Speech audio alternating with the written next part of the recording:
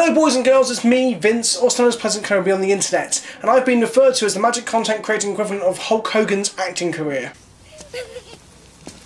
What? This week I bring you a brew of epic proportions, a spicy meatball of a deck, another fruit from the loins of labour and love that sit between my legs, put together and brought to maturity and nurtured through the careful mentoring of John the Baptist. One of you asked where John got that nickname from. Well, it's because this one time he killed a man with nothing but a handful of rock salt, sawdust, and three uncooked chicken breasts. So let's be real here. You're probably asking yourself, what the fuck is Dragon Ball Bees anyway? Well, it's the hot new contender for best combo deck in Modern because it's practically Splinter Twin. But what is it? Well, the game plan was always to make shit tons of bees, because bees are fun, and whilst Hornet Queen is a thematic inclusion in the deck for the sake of being able to call it a tribal bees deck, the real all-star here is Hornet's Nest. Man, I fucking love me a Hornet's Nest. Now, as we all know, bees make honey, which is super sweet just like this deck, but honey rhymes with money, which is what we will make a lot of thanks to our strategic purchase of Volcano Hellion and Blasphemous Act. Just waiting for this deck to break it big now and take down GP. Now, as the old saying goes, money is the root of all evil, and thus blasphemy in the eyes of our Lord and Saviour.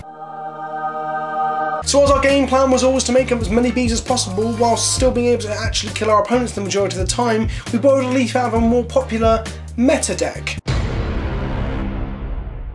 So we decided to shoot our creatures for 13 damage with Blasphemous Act, because nothing says unlucky scrub like 13 motherfucking bees. But Blasphemous Act has flavour text from Thalia Guardian of Thraben on it. Thalia is on Innistrad. On Innistrad they don't have Dragon Balls because they don't have any dragons as they're a rarity, unlike Tarkir, where their entire culture is surrounded by and based upon the mythology and history surrounding Dragon Lords. When Sarkhan Vol messes with the time stream, dragons descend upon the plane as depicted in the format, staple and ship pile cube all-star Descent of the Dragons. Pick up your copies now boys and girls before they rocket up in price after this deck makes its YouTube debut. Now, Descent of the Dragons has no comments on Gatherer. Do you know what other magic card doesn't have any comments on Gatherer? Well, it's not Shivering Meteor. Shivering Meteor is the ball in our Dragon Ball Z pun name, a literal burning ball of cosmic space matter. Some of you might suggest that Descent of the Dragons and the lesser extent Shivering Meteor only made it into the final build of the deck in order to fuel the bizarre deck name, and those of you that would say that are completely and utterly correct. However, John had pitched the idea of playing cards like Crystal Ball to really stretch and drive the point home.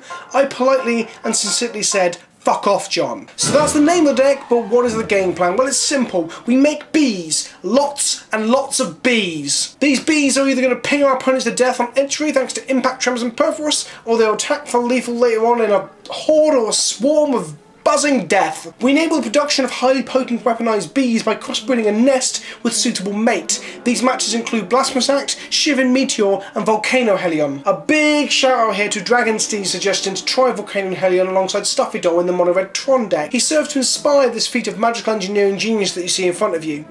But wait a minute, Dragonsteed, Dragon, Dragon Ball Z, Dragon...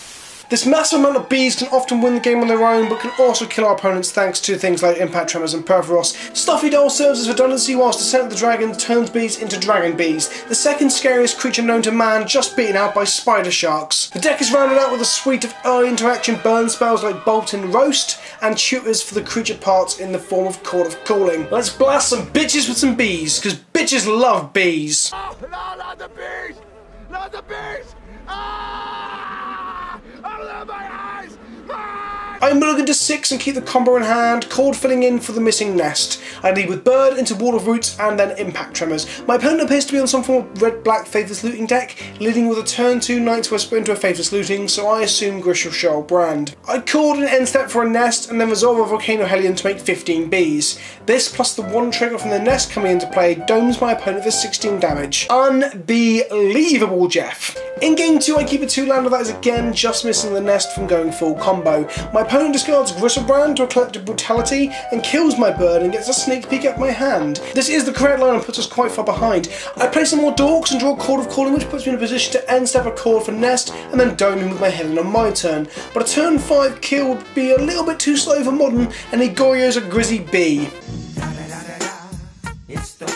He proceeds to combo off, attacking me for 7, he draws a load of cards, uses Nourishing Shoal to gain 11 life by exiling that fucking worm, and then uses a Desperate Ritual and two Simian Spirit Guides to cast a Borborygmos the Enraged, and proceeds to kill me by throwing lands in my face. Ban the ape!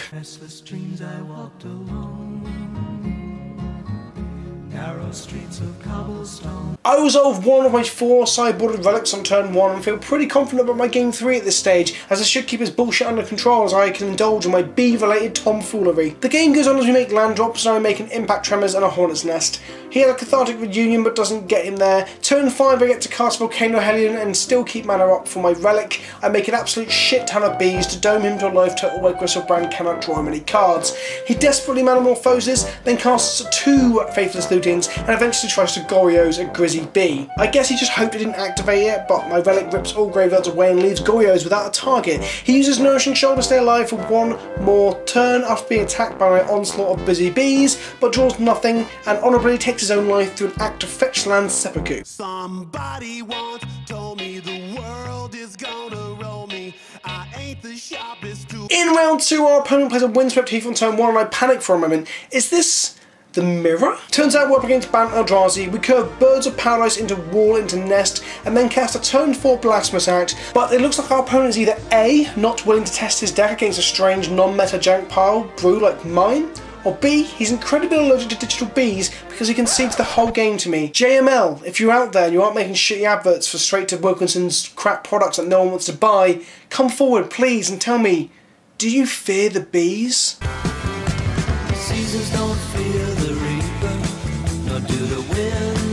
We keep our weakest hand yet, and once again I'm fearful. Is this the mirror? No, no, no, false alarm. It's just Bant Company or some such silliness. I bowled Ways Reflector Mage to conserve my life to only to have him resolve a Devoted Druid.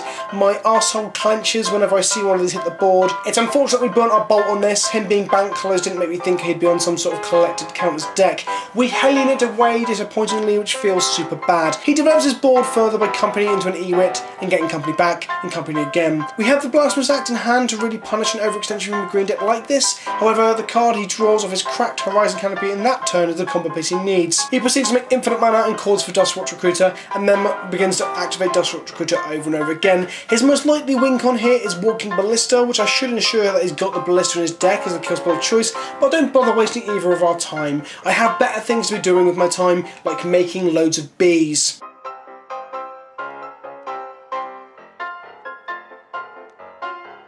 We keep a hand of absolute gas and pray we draw one more land. We bolt the bird and make land drops into impact tremors for our opponent to resolve a druid. Uh, once again I feel bad about the early bolt, but then draw anger and we're forced to wrath away the druid in case he untaps and combos. Our opponent is playing a Death and Taxes alumni in the form of Burrenton Forge-Tender out of the board. We fire off our second anger to get rid of her and have to use a Hellion to kill a druid again. Burrenton Forge-Tender can actually blank our Hellion, so we had to kill it somehow. With Echo Trigger on the stack for the We called for a wall of roots to get us closer to going Super B Saiyan. Our opponent continues to commit creatures to the board, which strangely enough doesn't play around Blasphemous Act. What a scrub. We draw many, many Blasphemous Acts and we decide to fire one off early and cleanse the world with fire. He resolves the Knight of the Reliquary, which is quite a formidable threat here, and we decide to let it hit us because our wall is so important in ramping us to a stage where we can go off. We decide to call for Hornet's Nest in the end step after he casts his second Knight, and we get caught out by Unified Will. Something about Unified Will is more embarrassing than any other counterspell in the game, maybe because I've seen Merfolk players play it, and Merfolk is a fucking lame deck. He goes for the combo, but in response for the call for two, I bolt the druid and feel absolutely fantastic about life. He plays some more creatures and decides not to attack into an open hornet's nest. We untap, cast the big old blasphemous act and create 13 1-1 flying death touching bees that upon entering the battlefield shoot our opponent for 1 damage each. You know what they say, the old axiom goes, you can't spell holy shit that's a lot of bees without the letters B, E and E. No, seriously, think about it. You can't spell that sentence without those letters. All jokes aside for a minute, the deck seems more legitimately competitive than I ever thought it would on paper. It has a combo finish that kind of comes out of nowhere with the chord and end step, bit like Twin, even though I make that joke a lot, it kind of is in a way. It's a little weak to Path, Fatal Push, and to a lesser extent Lightning Bolt, but the surprise factor is certainly on our side. And the combo kills much quicker than say Split the Twin Chaos Company does on MTGO, because you don't have to go through the steps, and it looks super fucking cool and immensely satisfying on screen when it goes off. If I were to take this deck to the next level and try and compete with with it, I would probably cut the central Dragons and the balls and the stuffy dolls, the unnecessary redundancy, and maybe trim a single Purphoros as well, keeping what allows us to cord for it when we need that part of the combo. I would add one to two more Wall of Roots, some early token fodder, so Dragon fodder, Hordeling Outburst or Sprout Swarm, and look at making the sideboard not shit. As much as Woodland Bellower is a real lad, he fucking sucks in this deck. So what do you think of the video and the deck? Any suggestions or critiques? Hit me up in the comment section below. The funniest comment this week will get a shout out in my next MTG gameplay video, so let's hear what you've got to say for yourselves, you bunch of filthy little strudels. If you haven't already, don't forget to subscribe and click that little bell button. Clicking the bell will get you email notifications when I put up stuff like this. It also makes my balls tingle. Please like the video and share it where you can. The more exposure and positive energy I get back, the easier it is to keep up making content. And until next time, remember that a wise and sagely bathroom attendant once told me, no Armani, no Punani, no splash, no chance for gash. Put that one in your pipe and smoke it.